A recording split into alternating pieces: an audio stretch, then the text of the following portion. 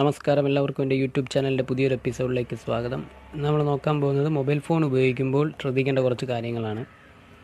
ഒന്നാമത്തെ കാര്യം mobile phone കുത്തിയിട്ടുകൊണ്ട് ഉപയോഗിക്കരുത്. അത് നിങ്ങൾ ഞാനും എല്ലാവരും ചെയ്യുന്നൊരു സംഭവമാണ് കുത്തിയിട്ടുകൊണ്ട് ഉപയോഗിക്കുന്നത്. കുത്തിയിട്ടുകൊണ്ട് ഉപയോഗിക്കാത്തതായിട്ട് ആരും കാണത്തില്ല. പക്ഷേ കുത്തിയിട്ട് ഉപയോഗിക്കുന്ന ഏറ്റവും വലിയ തെറ്റാണ്. കുത്തിയിട്ട് ഉപയോഗിച്ച് കഴിഞ്ഞാൽ ഫോണിന്റെ ചാർജിങ് ഐസി ഡാമേജ് ആവാനും ബാറ്ററിക്ക് പ്രശ്നം വരാനും ഒരുപോലത്തെ സാധ്യതയാണ്.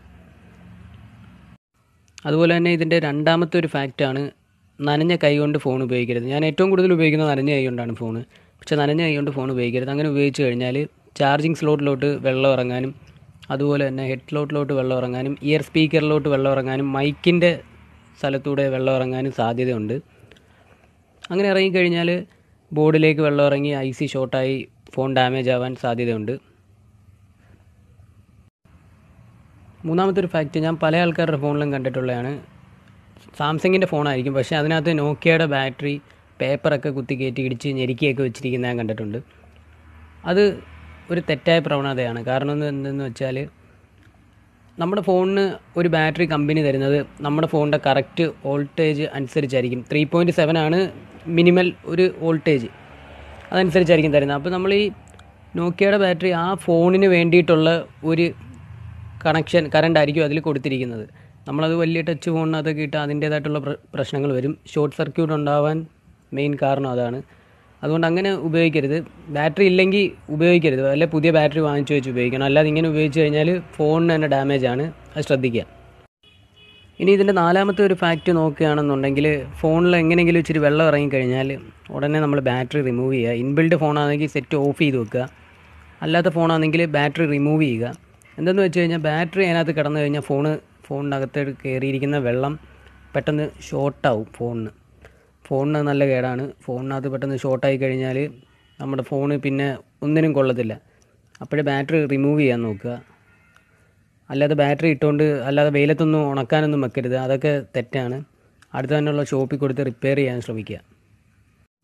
അടുത്ത അഞ്ചാമത്തെ ഫാക്റ്റ് എന്ന് പറയുന്നത് ഫോണിൽ പതിനഞ്ച് ശതമാനത്തിൽ താഴെ ചാർജ് ആയി കഴിഞ്ഞാൽ മാക്സിമം ഉപയോഗിക്കാതിരിക്കാൻ ശ്രമിക്കുക. അത് പതിനഞ്ച് ശതമാനത്തിൽ താഴെ ആയി കഴിഞ്ഞാൽ അത് ഉപയോഗിക്കരുതെന്ന് പറയുന്നത് എന്താണെന്ന് വെച്ച് കഴിഞ്ഞാൽ ഫോണിന്റെ ബാറ്ററിക്ക് അത് കേടുപാട് വരാൻ സാധ്യത കൂടുതലാണ്. കാരണം ബാറ്ററിയുടെ ഉള്ള വോൾട്ടേജും ആംബിയറും ഒരുപോലെ ഇറങ്ങുന്ന സമയമാണ് പതിനഞ്ച് താപ്പോട്ട് ആ സമയത്ത് ഉപയോഗിക്കാതിരിക്കാൻ ശ്രമിക്കുക. അതുപോലെ ചാർജ് നമ്മൾ കുത്തിയിട്ട് കഴിയുമ്പോൾ പതിനഞ്ച് ശതമാനത്തിൽ മേളിലായിട്ട് ഉപയോഗിക്കാൻ ശ്രമിക്കുക. അതായിരിക്കും ഫോണിന് പെർഫെക്റ്റ് ആയിട്ടുള്ളൊരു സംഭവം. അടുത്ത ആറാമത്തെ ഫാക്റ്റ് എന്ന് പറയുന്നത് നമ്മളെപ്പോഴും ഫോൺ ചാർജ് ചെയ്യുമ്പോൾ ഫോണിന്റെ കൂടെ കിട്ടിയ ചാർജറിൽ തന്നെ ചെയ്യാൻ ചാർജ് ചെയ്യാൻ ശ്രമിക്കുക. എന്തെന്ന് വെച്ച് കഴിഞ്ഞാൽ നമ്മൾ വേറെ ചാർജറിലിടുമ്പം ആ ചാർജറിന്റെ ആംബിയറും ഓൾട്ടും എല്ലാം വ്യത്യസ്തമായിരിക്കും. അങ്ങനെ വന്നു കഴിഞ്ഞാൽ ഫോണിന് ഡാമേജ് തന്നെയാണിത്. അതുകൊണ്ട് നമ്മുടെ ഫോൺ വാങ്ങിച്ചപ്പോൾ കിട്ടിയ ചാർജർ ഏതാണോ അത് തന്നെ ഉപയോഗിക്കാൻ മാക്സിമം നോക്കുക. അല്ലാത്ത പക്ഷം വേറെ ചാർജർ ഉപയോഗിക്കുക. അടുത്ത ഏഴാമത്തെ ഒരു ഫാക്റ്റ് എന്ന് വെച്ച് കഴിഞ്ഞാൽ ഫോണിലെ സ്റ്റോറേജ് ഒരു എൺപത് ശതമാനം വരെ ഫുള്ളാക്കാവുള്ളൂ നൂറ് ശതമാനം ഫുള്ളാക്കാതിരിക്കുക. നൂറ് ശതമാനം ഫുള്ളായി കഴിഞ്ഞാൽ സ്റ്റോറേജ് റണ്ണിങ് ഔട്ട് എന്ന് പറഞ്ഞ് മേളിലൊരു എംബ്ലോക്ക് വരും. അങ്ങനെ വന്നു കഴിഞ്ഞാൽ നമ്മുടെ ഫോൺ കറക്റ്റ് രീതിയിൽ തന്നെ വർക്ക് ചെയ്യത്തില്ല. എല്ലാ ആപ്ലിക്കേഷനും ആണെങ്കിൽ പോലും നല്ല രീതിയിൽ വർക്ക് ചെയ്യത്തില്ല. അതൊരു പക്ഷേ നമ്മുടെ ഡാറ്റയൊക്കെ ബാധിച്ചേക്കാം. അപ്പോൾ അതൊന്ന് ശ്രദ്ധിക്കുക. അടുത്ത എട്ടാമത്തെ ഒരു ഫാക്റ്റ് എന്ന് വെച്ച് കഴിഞ്ഞാൽ ഡിവൈസ് മെയിന്റനൻസ് എന്ന് പറയുന്ന ആപ്ലിക്കേഷൻ ഉപയോഗിച്ചുകൊണ്ട് നമ്മുടെ സ്റ്റോറേജും റാമും ബാറ്ററിയൊക്കെ എപ്പോഴും ഒപ്റ്റിമൈസ് ചെയ്തുകൊണ്ടിരിക്കുക. അങ്ങനെ ഒപ്റ്റിമൈസ് ചെയ്യുമ്പോൾ നമ്മുടെ ഫോണിന്റെ ഹാങ് ഒക്കെ കുറയും. അതുമാത്രമല്ല ഹീറ്റിംഗ് പ്രോബ്ലം കുറയും. അതുപോലെ തന്നെ സ്ലോ ആവുന്ന പ്രോബ്ലമൊക്കെ ഒരു പരിധി വരെയൊക്കെ കുറഞ്ഞിരിക്കും. അപ്പോഴെപ്പോഴും നമ്മുടെ ഫോണിനകത്തൊരു ക്ലീനിങ് ആപ്ലിക്കേഷൻ വേണം. അത് അത്യാവശ്യമാണ്. അടുത്ത ഒമ്പതാമത്തെ ഒരു ഫാക്റ്റ് എന്ന് പറഞ്ഞു കഴിഞ്ഞാൽ നമ്മുടെ ഇയർ സ്പീക്കറിന്റെ ഭാഗത്തോ അല്ലെ മെയിൻ സ്പീക്കറിന്റെ ഭാഗത്തോ എന്തെങ്കിലുമൊക്കെ പൊടിയൊക്കെ ഇരുന്ന പിന്നൊക്കെ കൊണ്ടിട്ട് കുത്തും. കുത്തിക്കഴിഞ്ഞാൽ അതിന്റെ ഡയഫ്രം കീറി പിന്നെ സ്പീക്കർ മൊത്തത്തിൽ മാറേണ്ട ഒരു അവസ്ഥ വരും. അതുകൊണ്ട് എന്തെങ്കിലും പേപ്പറോ പൊടിയോ ഒക്കെ ഇരിക്കുകയാണെങ്കിൽ അത് അങ്ങനെ എടുത്തു കളയാൻ പറ്റുമെന്നുണ്ടെങ്കിൽ അങ്ങനെ എന്തെങ്കിലും ചെറിയ സാധനം വെച്ചിട്ട് അകത്തെ സ്പീക്കറിന് കുത്തുകൊള്ളാത്ത രീതിയിൽ തട്ടിയെടുത്ത് മാറ്റുക. അല്ലാന്നുണ്ടെങ്കിൽ അത് എവിടെയെങ്കിലും കൊടുത്ത് റിപ്പയർ ചെയ്ത് റിപ്പയർ ചെയ്യേണ്ട ക്ലീൻ ചെയ്ത് എടുത്താൽ മതി.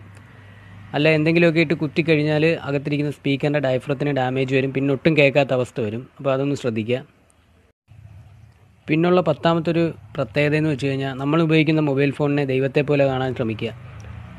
എന്തെന്ന് വെച്ച് കഴിഞ്ഞാൽ നമ്മുടെ കോണ്ടാക്റ്റ് നമ്മുടെ ഫോട്ടോസ് വേണ്ടപ്പെട്ട ഫോട്ടോസ് വീഡിയോസ് അങ്ങനെയുള്ള എല്ലാം സൂക്ഷിച്ചു വെക്കുന്ന ഒരു സാധനമാണ് നമ്മുടെ ഫോണ് ഫോണിനെ നല്ല രീതിയിൽ ഉപയോഗിക്കാൻ നോക്കുക.